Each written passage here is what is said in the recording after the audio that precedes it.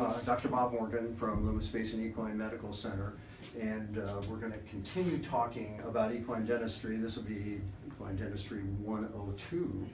Um, and there's a quiz after this one too, and that is for you to identify the most courageous man or person in Transylvania.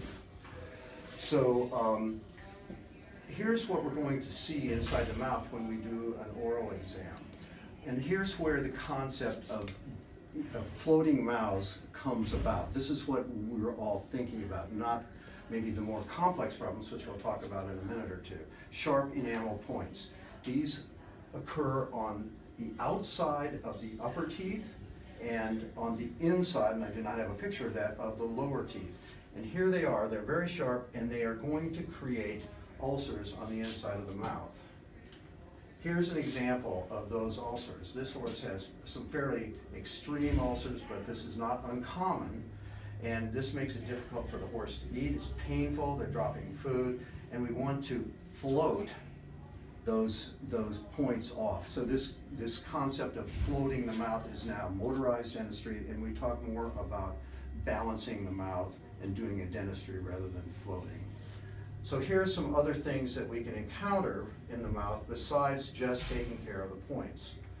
Um, well, first of all, talking a little bit about, uh, you'll hear the equine doctors that are doing this talking about numbers of teeth. And it's basically, all these teeth have their names like premolars, molars, incisors, but we've gone to a numbering system in the adult horse of 100, 200, 300, 400. So all the teeth, starting with the incisors and moving all the way back to the very last molar, in the upper right quadrant are considered the 100 teeth. They go from 101 to 111 and so forth. So just a little point of reference. The question is, does a horse need a rebalancing every year? The answer to that, and I think we've talked about that a little bit in our first segment, is yes. We need to prevent problems rather than um, try to catch up with them. I liken this to people who have their horse's feet done every six to eight weeks. Feet grow, teeth grow. They're hypsodont teeth.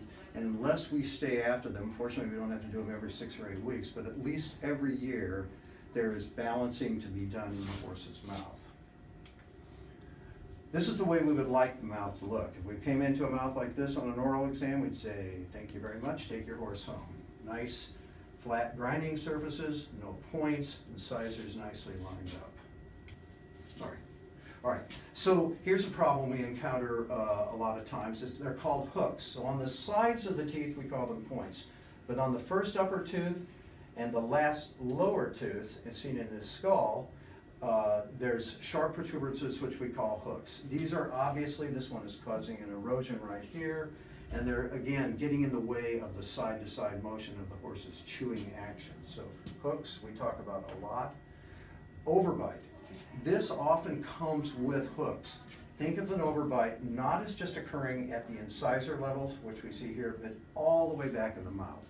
So this upper jaw is set forward of the lower jaw and it's obviously going to not have good wear back in the mouth as well as poor wear up here. So often we see hooks in connection with an overbite. Steps and waves. Best seen here where this tooth is over erupted and the upper tooth above it is being worn too much. This tooth is over erupted and the lower tooth is being worn too much. When you get a whole series of steps together, we call it a wave mouth. It's really nothing more than steps. In an actual mouth, here's a tooth that is gone, gone way too long and is probably causing problems. We can't see it on a tooth below. So that's a step tooth, step mouth.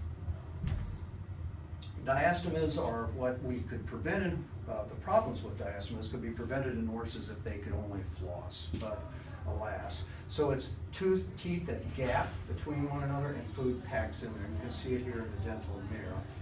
Um, so washing the horse's mouth out after eating can sometimes help with these. There's nothing we really have available to close those other than balancing the mouth, which sometimes will work. Missing teeth.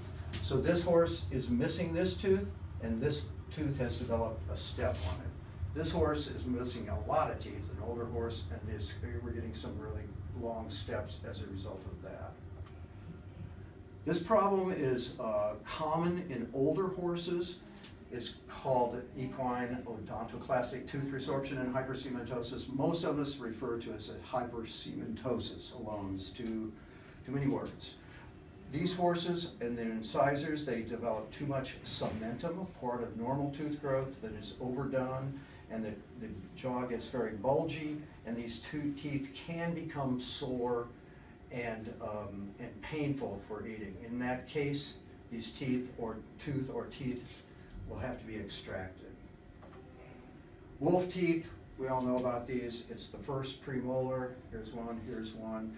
Uh, riders don't like these because they uh, feel that it interferes with the bit, so those are routinely removed. This horse has a lot of nice uh, uh, buccal points that need to be removed also.